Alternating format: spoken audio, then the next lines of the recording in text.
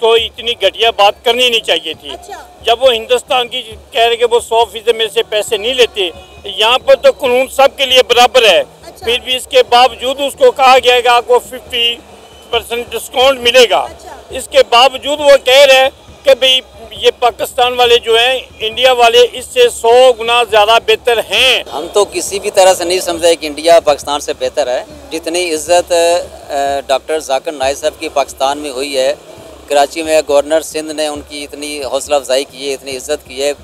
पूरी पाकिस्तानी कौम ने, पाकिस्तानी अवाम ने उनकी बहुत ज़्यादा इज़्ज़त दी है हौसला अफजाई की है। तो मैं तो नहीं समझता कि इस तरह की कोई बात हो। पाकिस्तानी लोग बहुत ज़्यादा उनको चाहते हैं और इंडिया के लोग अच्छे कैसे हो सकते हैं पाकिस्तान से? अफ़गानिस्तान के जो पठान इधर आते हैं, उनके पे कोई रिस्ट्रिक्शन नहीं है। इंडिया में आप चले जाओ तो आपको हज़ार तरह की रिस्ट्रिक्शन है। आपको डेली पुलिस स्टेशन जाके वहाँ पे सारा कुछ करवाना पड़ता है। आप एक बाउंड्री से बाहर नहीं जा सकते जो आपको बाउंड्री दी गई है। हमारे पाकिस्तान में इंडिया भी आता है वो गुरुद्वारे भी जाते हैं सारा कुछ करते हैं तो हम लोगों ने तो उनको ज़्यादा प्रोटोकॉल दिया हुआ है। हम सबसे अच्छे ये बात नहीं है कि ये कहना गलत होगा कि हम अच्छे नहीं हैं। मुझे बड़ा अफसोस हुआ उनकी इस हरकत पे। हरकत तो नहीं कहना चाहिए वो मजहबी स्कॉलर है ठीक है एक मजहबी जो इंसान है ना वो बेसिकली अपने रूल्स पे रहता है ठीक है तो रूल सबके लिए बराबर है। अब जब भी उनकी किसी भी कन्वर्केशन या किसी भी जगह पे उनका सुनेंगे ना बयान तो वो कहते हैं कि ये सारे बराबर हैं सारी मैंने बुक्स पढ़ी हुई हैं मुझे इवन के पेजेस याद हैं तो सब चीज़ों पे ना बयान दे के लोग उनसे इंस्पायर्ड होते हैं। हम लोग जो मुसलमान हैं वो डिमोरलाइज हुए हुए हैं। ठीक है। हम ऐसे कुछ लोग हैं जो बहुत अच्छे हैं और हर जगह पे हैं। इंडिया में भी बहुत अच्छे लोग हैं और बुरे भी हैं। शायद उनका उन इंडिया में उन लोगों से पाला नहीं पड़ा जो बहुत बुरे हैं। अच्छा। और पाकिस्तान में शायद वो लोग हैं जो डिमोरलाइज हैं अपने से बिल्कुल उनसे पालना पड़ा और उनको ये कहना बंद नमस्कार दोस्तों मेरा नाम अनुज धीमान और आप देख रहे हैं नेशन ब्रो जाकिर नायक इस समय पाकिस्तान के अंदर है और वहाँ पर भरे मन से उन्होंने भारत की तारीफ़ कर दी। अब इस बात को लेकर कुछ पाकिस्तानी भड़क गए हैं तो देखते हैं इनका क्या रोना धोना है। उसके बाद बात इस वीडियो की बातें। बताई गई है उसके बारे में वीडियो है सनाम जद का। जो जाकिर नायक माशाल्लाह से इतने समझदार इंसान है उनको ये कहना कि बेसिकली मुस्लिम्स और कंपैरिजन में लेके आना कि हिंदूज इस तरह कर रहे हैं मुस्लिम्स ये कर रहे हैं। नहीं रूल सबके लिए सेम है। ठीक है बींग गेस्ट उन्होंने नहीं किया उनकी गलती है लेकिन जाकिर नाइक साहब जितनी बड़ी शख्सियत है उसी के अकॉर्डिंग अगर वो शो करते हैं ना कि ठीक है तहमुल का करते हैं मतलब मुजाहरा तो वो हमें और अच्छा लगता है हमारी लोगों को कहते हैं कि तहमल करें आपस में मिल के रहें किसी की इज़्ज़त किसी ऐसी जगह पर ना उछाले जहाँ उसकी इज़्ज़त है। वैसे आपको क्या लगता है इंडिया वाकई में पाकिस्तान से बेहतर है या नहीं? अगर हम ओवरऑल बात करें डेवलपमेंट के लिहाज से। बेसिकली देखिए जी कंपैरिजन बनता नहीं है। बहुत सी डिफरेंट पर्सपेक्टिव है आपके पास ना, ठीक है? पाकिस्तान का अगर आप देखें कि इनका जो बेसिकली हमारा माशरा है, हमारे माशरे में जो असूल्स हैं, हमारी तलीमत हैं, हम कुरान पाक पे अमल करते हैं और वो लोग जो करते हैं वो आपके सामने हैं। अगर हम उस पर्सपेक्टिव को देखें कि वो लोग बुतों की पूजा करते हैं, ठीक है? बेसिकली बात नहीं करनी चाहिए मज़हब पे, लेकिन है तो सही ना रियलिटी तो है ना। बेसिकली अल्लाह ताला आपको सेंस तो दी हुई है। लेकिन मैं डेवलपमेंट के हवाले से बात कर रही हूँ।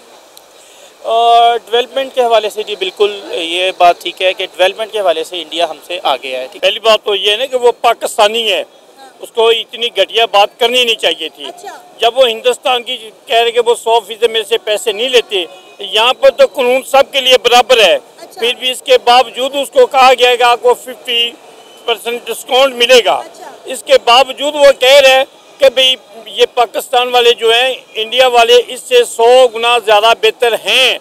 फिर उसको पाकिस्तानी कहलाने का कोई हक नहीं है। डॉक्टर जाकिर नाइक को पाकिस्तान ने as a state guest invite किया है। जब आप किसी गेस्ट को इनवाइट करते हैं ना तो उससे इतना हिसाब किताब नहीं होता। वो तो ठीक है मगर जितना भी है ये सब के लिए बराबर होता है ना। कोई आम ज, आम जाए या ए क्लास या बी क्लास जाए उसके लिए उसको फिर भी फिफ्टी डिस्काउंट मिल गया तो वो तो ठीक है। तो उसने नहीं लिया ना उन्होंने कहा कि मुझे 50 परसेंट डिस्काउंट भी नहीं चाहिए। नहीं ये तो फिर गलत है ना। अच्छा। जब उसको फिफ्टी परसेंट डिस्काउंट मिल गया है, इससे ज़्यादा तो और कुछ नहीं हो लेकिन वो कह रहे हैं कि इंडिया में रहने वाले जो हिंदू हैं उनकी बड़ी इज़्ज़त करते हैं। वो इसीलिए करते हैं कि इनके पाकिस्तान है ये पाकिस्तानी है इनका पाकिस्तान वाले के साथ आपस में थोड़ा इख्तलाफ पाकिस्तानी तो नहीं है ये। पाकिस्तानी तो नहीं है डॉक्टर जाकिर नाइक। नहीं वो पाकिस्तान वाले तो उसकी मजहबी रहनुमा है और पाकिस्तान में स्टेट गेस्ट इनवाइट किए गए। इसीलिए वो कह रहे हैं यही बात मैं कर रहा हूँ ना भी पाकिस्तान में उसको मिल रहे हैं इंडिया वाले नहीं इंडिया वाले दे रहे हैं हम पाकिस्तान वाले वो जो दे रहे हैं वो भी मजबूर हैं उनका भी नौकरी का मसला वो इसीलिए उसने की ना उसको उधर ज़्यादा प्रोटोकॉल मिलता है। इधर प्रोटोकॉल उसको नहीं मिला। इधर प्रोटोकॉल मिलता है अगर हुकूमत उसको आगे कुछ कहती नुमाइंदों को कहती या कोई आदमी अपने वगैरह भेजती भी ये फलां बंदा आ रहा है इसको प्रोटोकॉल दें इसको रिलीफ दें इसको जो भी चार्जिंग हो इसको माफ़ करें इससे न लें। आपको नहीं लगता कि इंडिया पाकिस्तान से बेहतर है? जिस तरह वहाँ पे एजुकेशन का निज़ाम है हेल्थ का निज़ाम है वहाँ पे आप पेट्रोल के रेट देखें आटे के रेट देखें वहाँ का मुसलमान भी ये कहता है कि हम पाकिस्तान से अच्छी ज़िंदगी हिंदुस्तान में गुजार रहे हैं। अगर महँगाई के लिहाज से देखा जाए ना हमारे से उधर हज़ार गुना महँगाई कम है। बहुत कम है। नहीं बेहतर नहीं है। ये हम लोग जो मुसलमान हैं वो डिमोरलाइज हुए हुए हैं। हम ऐसे कुछ लोग हैं जो बहुत अच्छे हैं और हर जगह पे हैं। इंडिया में भी बहुत अच्छे लोग हैं और बुरे भी हैं। शायद उनका उन इंडिया में उन लोगों से पाला नहीं पड़ा जो बहुत बुरे हैं। अच्छा। और पाकिस्तान में शायद वो लोग हैं जो डिमोरलाइज हैं अपने से बिल्कुल।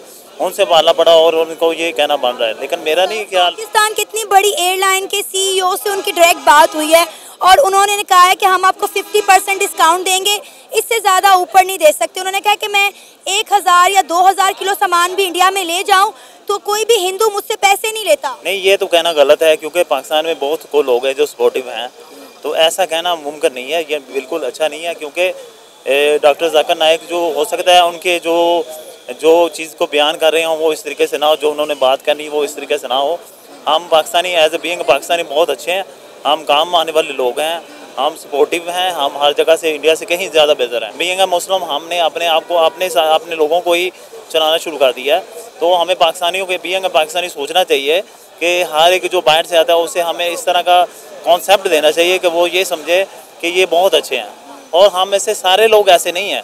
कुछ लोग ऐसे हैं जो इस तरह करते हैं और उसमें से जो अच्छे लोग हैं वो भी उसके जत में आ जाते हैं। आपको पता है पाकिस्तानियों में ये कॉन्सेप्ट पाया जाता है कि मुसलमानों को हिंदुस्तान में बहुत बुरे से ट्रीट किया जाता है लेकिन आज डॉक्टर जाकिर नाइक ने ये तमाम मामला ही साफ़ कर दिया ये कहकर कि उन्हें एज अ मुस्लिम हिंदुस्तान में हिंदू ज़्यादा इज़्ज़त देते हैं। नहीं ऐसा नहीं है वहाँ पे भी मुसलमान लोग हैं वो इंडियन से ज़्यादा हैं। वो मुस्लिम हमारे भी रिप्रेजेंट करते हैं मुस्लिम जहाँ भी हैं वो चाहे वो पाकिस्तान में है चाहे इंडिया में वो है तो मुस्लिम, उनका जज्बा जो है वो भी मुस्लिम का है।